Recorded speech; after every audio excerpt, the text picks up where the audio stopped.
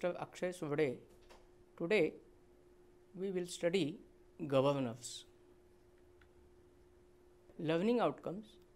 At the end of this session, students will be able to examine the stability and sensitiveness of the governor, analyze and identify the various terms in governor. The content of this session is stability of governor, isochronous governor, hunting governor, sensitiveness of governor, controlling force diagram and references. So, stability of governor when for every speed within the working range there is definite configuration that is there is only one radius of rotation of the balls at which governor is in equilibrium that is known as stability of governor. For a stable governor, if the equilibrium speed increases, the radius of rotation of the ball must also increases. For unstable governor, if the radius of rotation decreases as the speed increases, that is nothing but unstable governor. Isochronous governor. A governor is said to be isochronous when the equilibrium speed is constant for all radius of rotation of the balls within the working range neglecting the friction. That is known as isochronous governor. Now let us consider a Porter governor in which minimum and maximum equilibrium speed is given as shown in the presentation. So, n1 square is equal to m plus m by 2 into 1 plus q divided by m into 895 divided by h1 and similarly n2 square will be equal to m plus capital M divided by 2 into 1 plus q divided by m into 895 divided by h2. Now think for a while if the equilibrium speed is constant for all radius of rotation of the balls, what will be the effect on the height of the governor?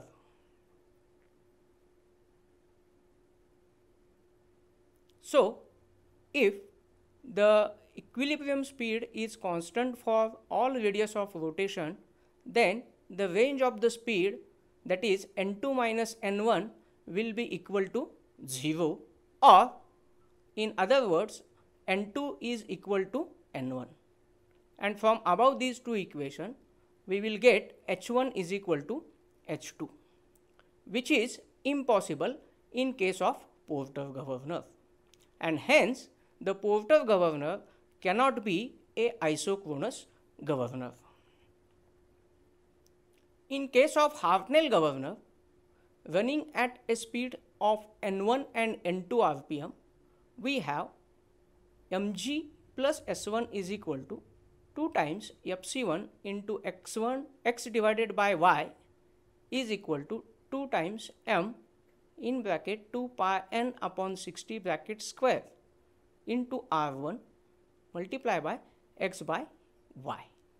And similarly, for highest equilibrium speed, mg plus s2 is equal to 2 times fc2 into x by y is equal to 2 times m multiply by 2 pi n upon 60 bracket square into r2 multiply by x upon y. So, from these two equation for isochronous governor n2 will be n1 n2 is equal to n1 and therefore from above two equation we get mg plus s1 divided by mg plus s2 is equal to r1 divided by r2 and from above equation isochronous governor is not a practical case because the sleeve moves to one of its extreme position immediately if the speed deviates from isochronous speed. Hunting of the governor a governor is said to be hunt if the speed of the engine fluctuates continuously above or below the mean speed of the engine. It is caused by too sensitive governor which changes the fuel supply by a large amount when a small change in speed of rotation take place. Let us consider the example. Load on the engine increases, the speed of the engine decreases. If your governor is too sensitive, then the sleeve falls to its lowest position. As a result of this, the throttle valve gets open widely and large amount of fuel is supplied to the engine as compared to its requirement. This results in increase in the speed rapidly. Due to increase in the speed, the sleeve rises to its highest position and therefore which will results in cutting down the supply of working fluid to the engine. Of hunting of governor, either governor admits large amount of working fuel to the engine or it will cut down the supply of working fluid to the engine. That is called as hunting of a governor. Sensitiveness of governor. If we consider two governors A and B running at same speed, when this speed increases or decreases by certain amount, the lift of A is greater than B, then governor A is more sensitive than B. Generally, greater the lift of the sleeve corresponding to fractional change in the speed, the greater the sensitiveness of the governor.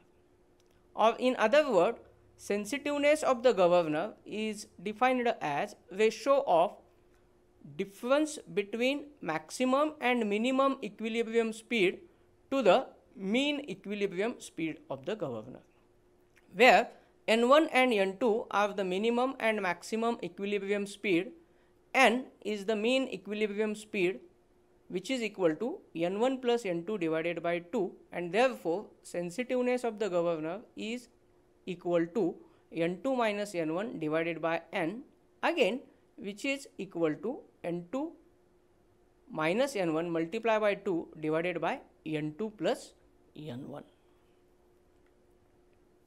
Controlling force diagram. When a body revolves in a circular path, there is an inward radial force or centripetal force acting on it.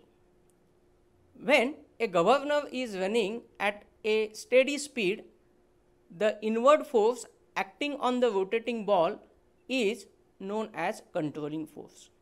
It is equal and opposite to the centrifugal force which is given by Fc is equal to mr omega square. Controlling force is provided by weight of the sleeve and ball in case of Porter governor. When the graph between controlling force and radius of rotation of the ball is drawn is called as controlling force diagram. This diagram enables the stability and sensitiveness of the governor to be examined. So, the figure shows the controlling force diagram for a Porter governor. So, in case of Porter governor, the centrifugal force acting on the ball Fc is equal to m r omega square. Put the value of omega 2 pi n by 60 and therefore we will get n square is equal to 1 upon m multiply by 60 upon 2 pi bracket square multiply by fc upon r where from the diagram fc upon r is nothing but tan phi. And therefore, putting the value of Fc upon R is equal to tan phi, n is equal to tan phi divided by m bracket raised to half multiply by 60 upon 2 pi. where phi is the angle between the radius of rotation and the line joining the given point on the curve on the origin O. A governor satisfying the condition of stability, the angle must increase with radius of rotation of ball. That means phi must increase with increase in radius of rotation of the ball as shown in the figure.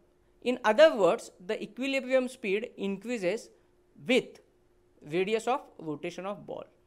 For governor to be more sensitive, the change in the value of phi over the change in the radius of rotation should be as small as possible. For isochronous governor, the controlling force curve is straight line passing through origin. The angle phi is constant for all radius of rotation of governor. So, tan phi is equal to fc upon r putting the value of fc mr omega square divided by r we will get 2 pi n upon 60 bracket square which is equal to c into n square where c is equal to m multiply by in bracket 2 pi n upon 60 bracket square where c is a constant.